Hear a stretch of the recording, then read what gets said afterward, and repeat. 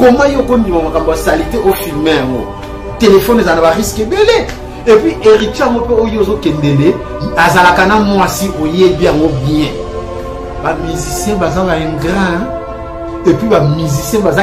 baza mitema mabe kaka bamusicien te ba musicien na ba artiste comédien nasangisi bino tu boa mitema mabe komo ba artiste batalaka ka ba intérêt na bango bato ebele baolenga na miniti oyo eza kaka naomi te mpo telefone soki eza mpa technicien ya solo elingi eloba ke bavideo ekoya kaka basi oyo heritier olala basi oyo nyonso oyo matela obeta limbele olingi oloba ke naomi nde aleki sentiment mpo ayebisa ofais moi le bebe hein? fais moi le bébé kaka jour wana nde akosala abotela mwana donc kaka baseconde obwaki overse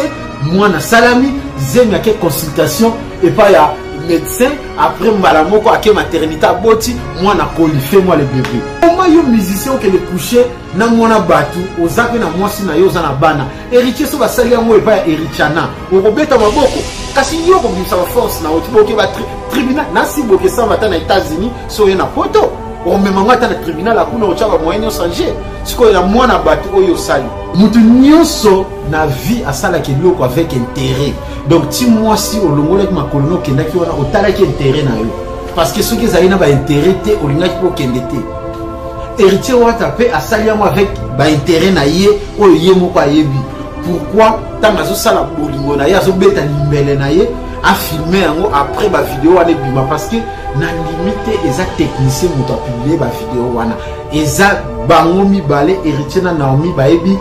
vie ya relation na bango bayebi vraie cause na vérité naomi akanisaki sikoyo wi a nazobima na héritier watanabe star ya mboka nini abetaka bagénérie kutu esimbaka nango te bamusicien kutu bazokima mpo baotala mabe eleki epai ya, ya, ya, ya lider yango azokoka kosala makambo te aleki okanisaki kozwa bénéfice wana tala ndenge ebaluki et puis mwana ndenge eza wana so respectaka baparent na yo te mama na yo te na papa na yo te yebaka yango okende liboso te ata oza na père spirituel abondelaka mpo na yo mapamboli ekokóma te héritier très impoli héritier omankaka werason héritier okretiaka maison mare bato ya maison mare nde kaka mabe yo nde kaka malamu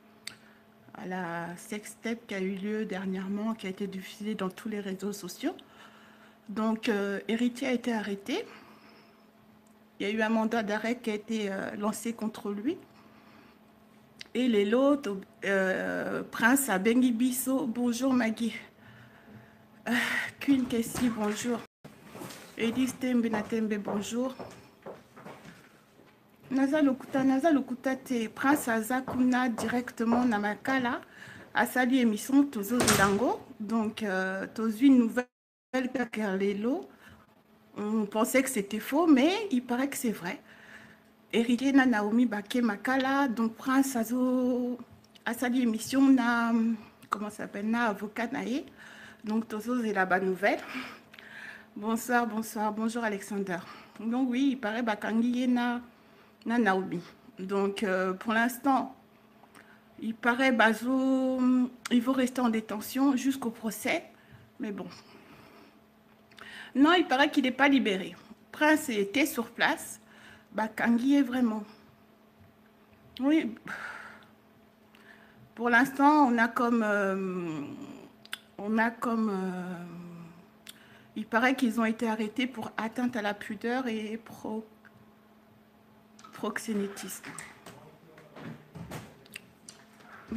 bonjour, Tia. Je pleure pas. Je suis, en fait, je suis étonnée. Je suis étonnée, donc euh, je suis étonnée. Je ne pensais pas. Je pensais pas que ça allait euh, aller plus loin, mais bon. On va faire confiance à la justice euh, de chez nous. On va voir ce que ça va donner. Je ne pleure pas.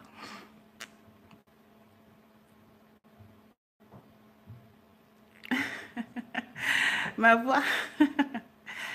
Émotionnée, non, je suis surprise en fait, parce qu'il y a plein de choses qui se passent au pays. Je pensais que, bon,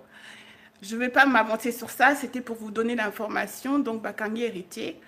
Tozoz et la, euh, la suite. Et donc, Azo, Azo Tine au Bisoba Image, na avocat héritier, on va voir.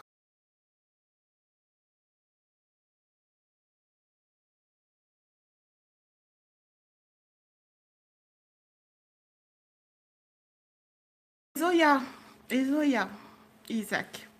Donc, tout ça, c'est la image directement sur place. Moi aussi, quand j'ai appris ça, je me suis dit non, euh,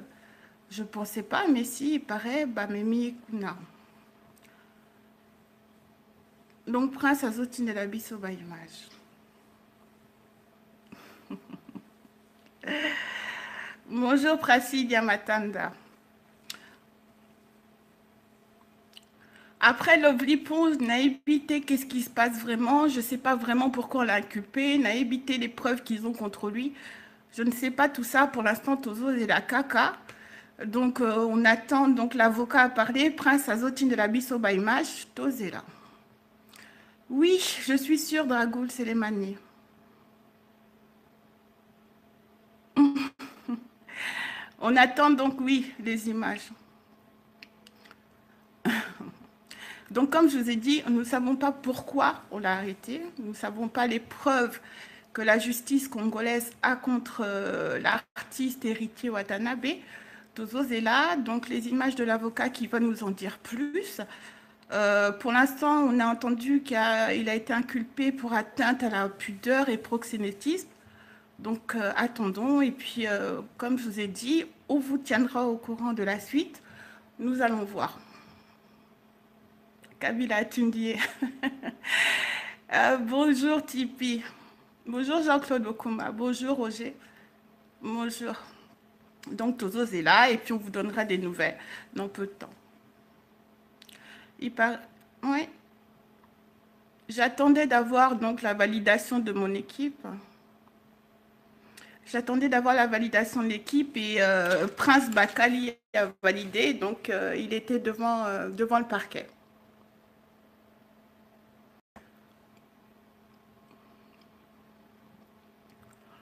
concernant la fille, il paraît que Bakangi paie Naomi. Donc, euh, on attend de l'avocat. On a arrêté héritier et Naomi. Le problème, c'est que nous n'avons pas, il a été, depuis ce week-end, il a été interpellé par la police. Par contre, nous n'avons pas, pour l'instant, euh, pour l'instant tout, ce que la police congolaise est en train de reprocher à l'artiste. arrete dans quel sens bamemi ye na makala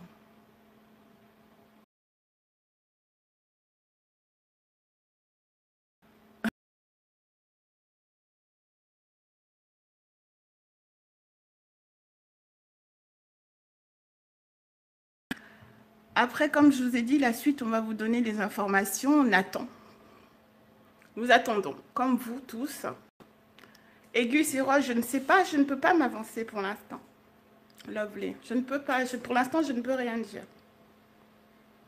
Pour combien de temps nous avons entendu dire qu'il doit rester jusqu'à son procès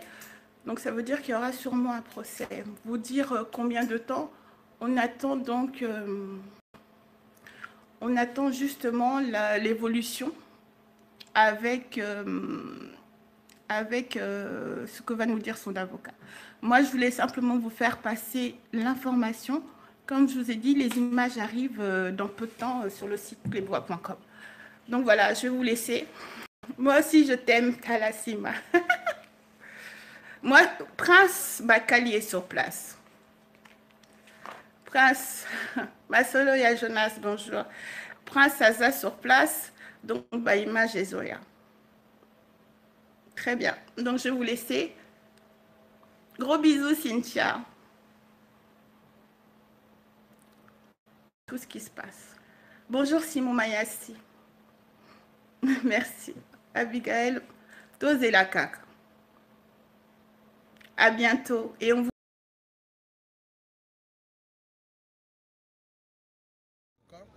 oza avocat héritier euh, situation eza vraiment nini na minute oto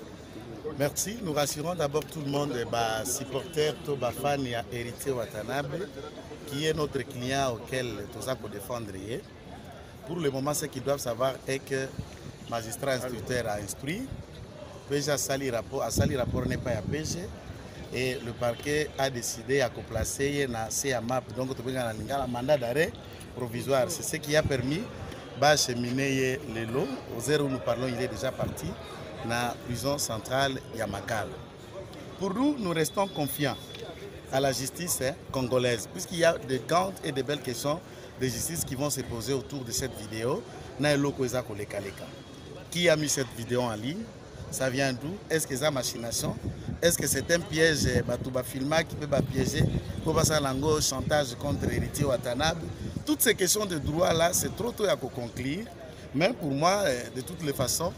eh, la manière dont une Vitesse, bon, avec des véhicules privés, l'amener au CPRK, nous ne savons pas la vitesse là est liée à quoi et tout cela, mais la sérénité. Nous faisons confiance au parquet général et au magistrat instructeur au vu des éléments où à Kotable on a droit congolais. pas na baanalyse na baspéculation puisque il faut savoir que droit na biso makambo eza na bayoutube bawhatsapp na bafacebook il y a encore un grand vide il y a encore un muet qui reste et qui demeure na aspect droit na biloko eza koleka kuna na toile donc euh, nous rassurons tout le monde que nous les défendons nous suivons et nous attendons après euh, cette mise en détention na ye kuna na mpe kokitindai na cprk quelle sera l'attitude du parquet et la suite du dossier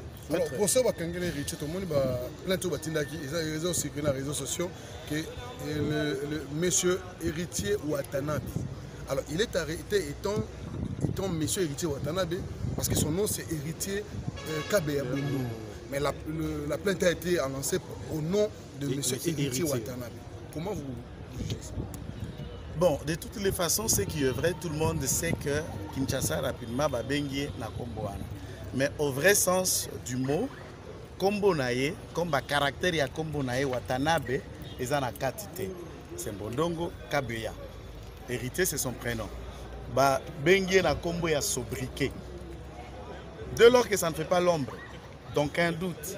Nous avons d'abord fait à comprendre par magistrat qu'il y avait une erreur de la part à son nom et à comparer ça qui n'a combo na véritable ça na passeport na mikanda na nionso. Et c'est de cette façon qu'il a été. Euh, Minute euh... tolo baboye. Moto na tembe goga héritier watanabe aza na maboko ya justice hein? donc aza na maboko ya justice aza na parquet déjà ya grande instance aza na parquet donc voilà bazomeka un peu kosimba likambo na ye comme c'est le week-end moyen basambisa ye eza te lundi nde ekozala puisque la fille aussi akendaki d'elle-même epa héritier watanabe après incident oyo après publication oyo la fille elle est partie d'elle-même de son propre gré s'il vous plaît ti epa héritier watanabe est ce que azalaki na posa ya bis encore toyebi te eske akendaki kaka kolela toyebi te parce que biso tu toyebi ke non soki likambo moko ya mabe esalami motu soki aza na bato ya bien te oyo bakokonseye ye omona ke aosala mpe babétise mais soki oza na bato oyo bakokonseye yo omona ke non maîtrise de soi mpe ifo ezala mais toyebi te la fille elle est partie faire quoi pour que bakende la police ekende kokuta ye epai ya monsieur héritier watanabe akendaki kosala nini point d'interrogation j'espère que lundi ntango bakosambisa bango mibale tokoyoka version ya mwasi mpe ya, ya monsieur héritier ba, a, la fille est partie faire quoi chez monsieur héritier watanabe pour que bakende kokanga ye kuna de personne qui soutient cet acte alingaka héritier watanabe te o oh, telefone ebungaki lokuta o oh, ezalaki na iphone 10 oyeke na iphone 11 c'est faux biso tu toyebi combo toyebi komanie combo toyebi ke eza bongo te donc voilà bato tu oyo bazosoutenir bango bafinga nga bon moi je suis là. moi je dirais que héritier watanabe soki vraiment justice esengeli vraiment ekanga héritier watanabe basala mosala na bango moi je, moi je veux pas contredire la justice biso tokocontredire justice te justice il faut asala mosala nango soki justice vraiment amoni ke non il faut interpelle héritier watanabe et puis naomi wana bon justice il faut asala mosala nango nous on est qui Hmm? on est qui mpona toya kocontredire justice mibeko ya mboka toya banani me tolekaka tolobaka boye parce que baacte mosusu todeploraka yango valeur ya mwasi eza wapi nidite ya mwasi esengeli ebombama nidite ya mwasi biso baso tomemaka bino pendant 9 mois na libumu esengaka fo tozala mwa barespect moko boye surtout venant de vous les hommes mais tokomomona lelo tozwaka su barespect wana te bavaleur wana toya nango esuti motu moko akovanda bo abengi boye ayebi yo te parce que amonaki olekai na elenga congo directement bonjour bonjour envoie moi tes photos sexy faut être bête faut être malade pourquoi bokomi ozwa biso boye bokomi otraite biso lokola bokomi ochosifie bana aza na bana mais c'est faux ya réalité eza nango lokuta la fille abota te abala mpe te po vane naza camarade ya ndeko na ye moko na états-unis donc mm. cousin na ye mm. comme information na source abota te abala te ce qui est vrai nga moko mpe nalandi petit frère na ye alekaki na la mama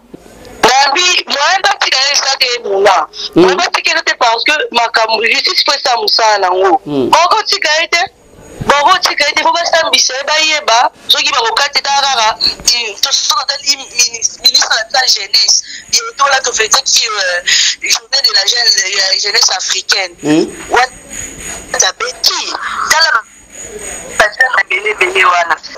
naloba makambo eriki ezosala eza mpasi mpe soni komona bato oyo neti oba on peut pas lui condamne boye hmm? mais apedicatitaire ya masse bientôt la auti kokende belgique na kilpak azalaki ambassadeur ya jeunesse Mm. mais héritier makambo osala ezalaka te mm. mpo na ngai donc eh, bakokanga bakanga bango héritier te batika ye parce que eza yango na sens te po ata bakangi ye eza normal eza na sens te to batika ye batika batika bango ye na fi ya question wa biso mpe azalaki sope ndumba sope ndenge batika bango ye basentiment bango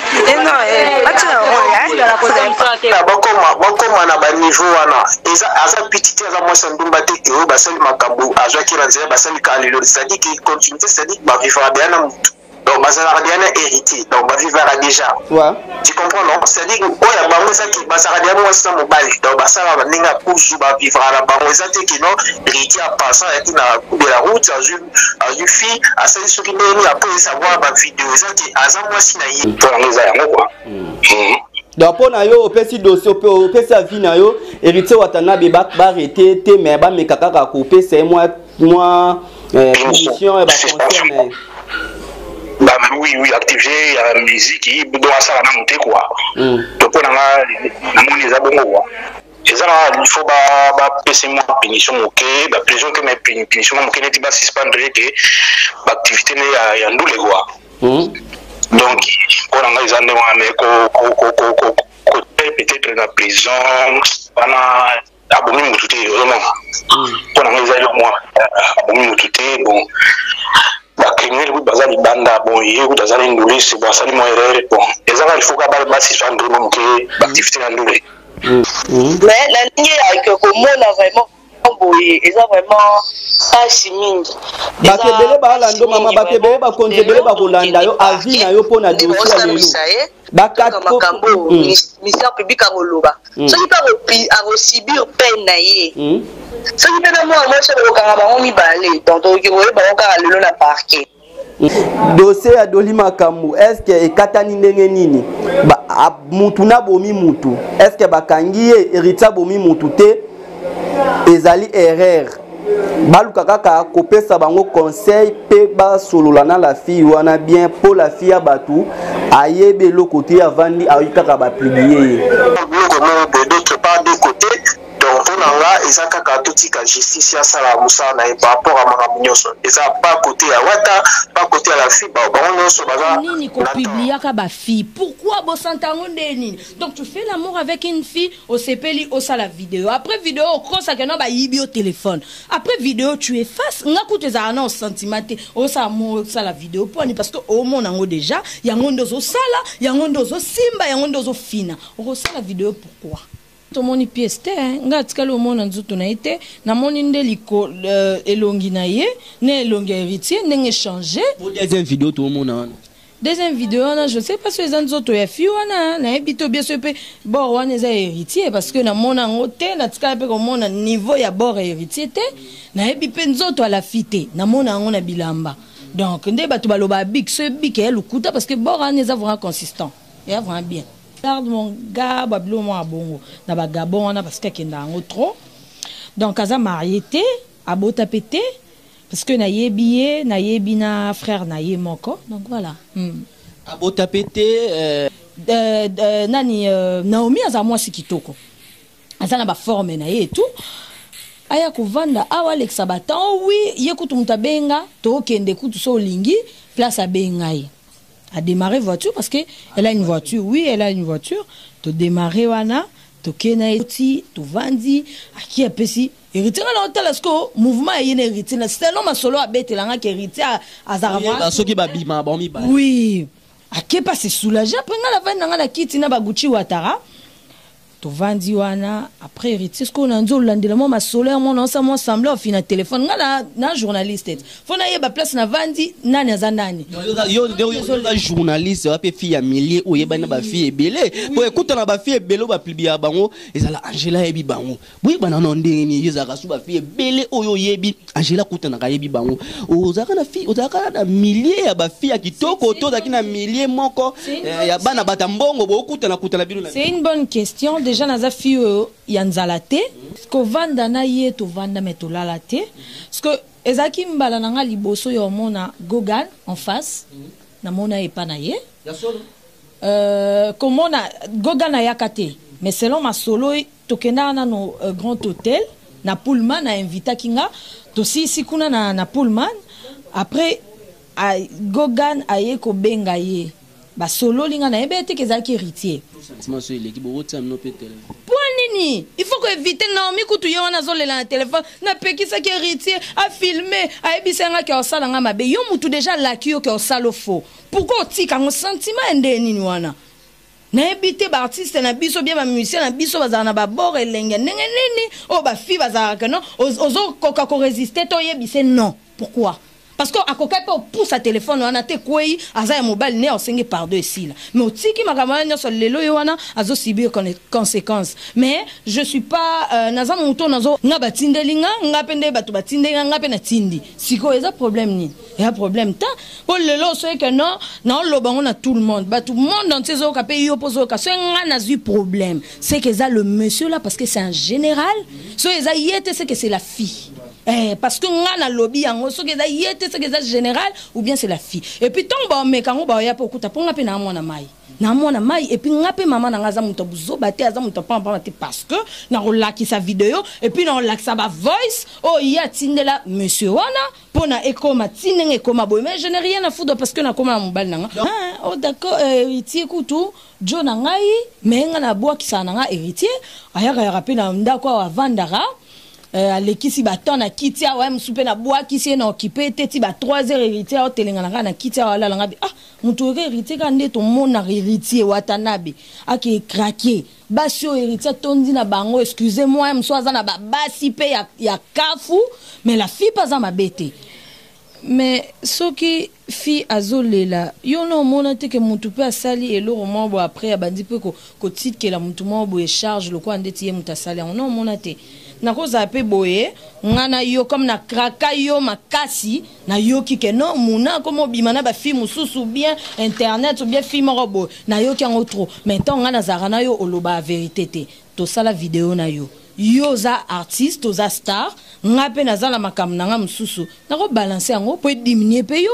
mais okosa que non otieli ngambu nionso epe heritier mpo na omona bato mosusu baloba que non famille bando basali ba, ba soki mpe euh, baapporte euh, héritier plainte na nde nini Relation nini oyo oyebi lelo o garder na la fille asi bosolola? Te tosolola lisusu te mpo na bloka ye. Mpo na nini? parce que nazali na relation na ngai moko ya bien oyo ezalaki vraiment lelo kutu moto yango lobi azoyebisanga ke moi je suis sorcière sorcière anini mpo ngai moto na illustre video ya mwasi na ye na, na, na, na, na internet ngatakoraisonne bongo te ata kutu okovenger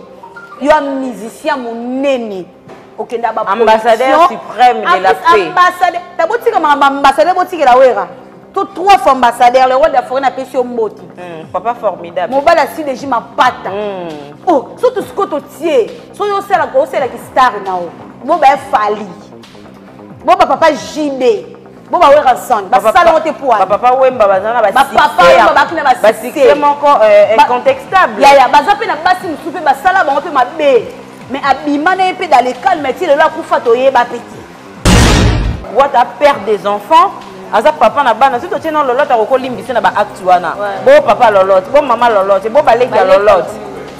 bongo bana heritiana c'est déjà une grande fille mm. aza na téléphone oui. vouloir ou pas soit ata masta na ye moko akoki otindela ye video wana ke reza ton papa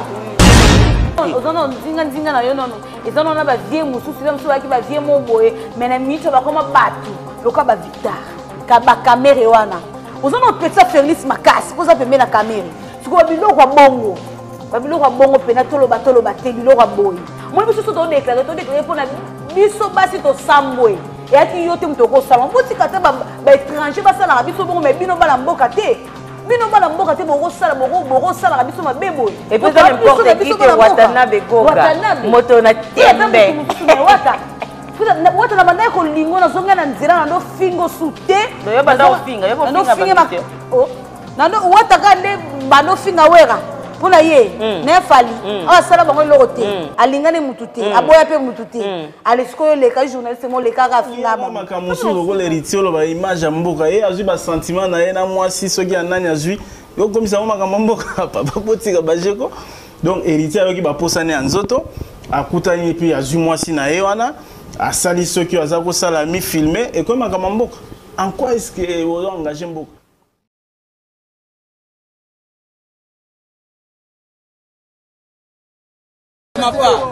etaki héritier c'est notre leader tokumisaka ye tozelaka ye toyokaka yetuna baye mpona baloba yeyokapona héritier apona nga na baye na mapa omoni deja bor na ye aza motu rouge naloba nani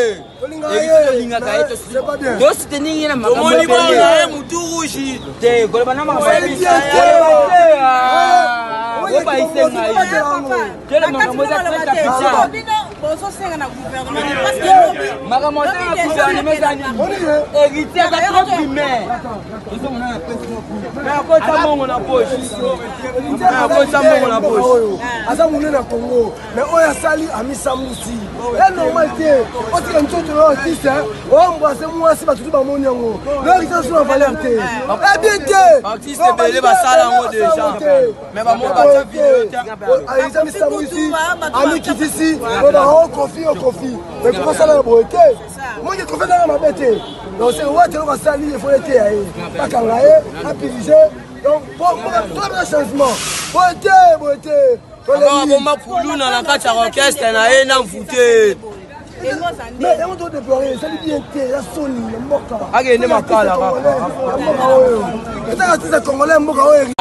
moamba limete kingabwa il s'agit mwasi ya mutu producteur na ye manager soit disant manager producteur manager na ye ba image baloba mama leyaka mwasi bakakaka yoka balembe basi balobaka ebele me mwasi ya motu fo atika ji bayembi yango amour ya 17yoka amour ya 17 esuki 18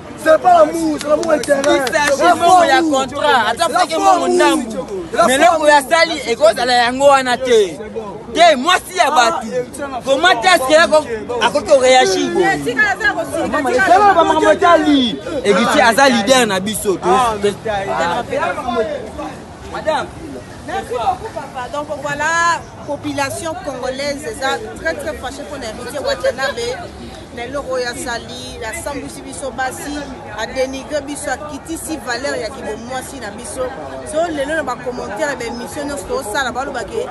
bafemme zairoise baza na bango bandumba baza na bango bapite c'est parce que bavideo ya héritier ekitisi valeur ya une femme africaine une femme congolaise donc voilà biso basi toza vraiment très très déci toregrete makasi donc voilà biso basala te Pourquoi heritier okoma ti na niveau ya ko filmer muasi malgre tout baza na ba intimite na bango fallait ba bomba yango entre bango mibale oyo eza soni basali eza soni tozo yoka quelque part bazo loba fille wana aza boye bazalaki na ba rancune na ba heritier heritier aleka na TV a dementir yango ba pardon pourquoi heritier ayebisa biso pardon pardon Pardon tolembi se par rapport à quoi? Mobali na ye Babi c'est un depute sikoyo donc atondi ndaku na ye te akeyi ko continuer susu ya Heritier. Heritier pe aza na muasi ne na bana na poto Heritiana azali muasi ne azali muasi ne azo lela eza soni d'ailleurs Heritier a bloka kutu muasi ne na compte Facebook na WhatsApp Heritier ozo mona Eeh pourquoi mboka oyo tozalaki na histoire ya mama mimi non papy mboma papy mboma ye na ba mayi na ye eeh pour eye mama mimi mama mimi sikoyo mikolo ba garçon nioso bakomi ba heritier France cote president azali president na Allemagne image wana etamboli boketshu aseyeli yango ekomi sikoyo sujet ya boketshu oyo faut ko libere Congo na buzoto na nioso akomi neti ko critiquer president pourquoi donc heritier pona ngai procedure na ngai eza heritier fo bakange musique heritier eleka na tv ti heritier abeta concert te heritier abima na mboka oyo te o akende ata brase heritier akende te fo justice elandela ye babenga esola ya ba david morceau te oyo eza mboka david morceau te bakanga ye ata heritier ayebani na banani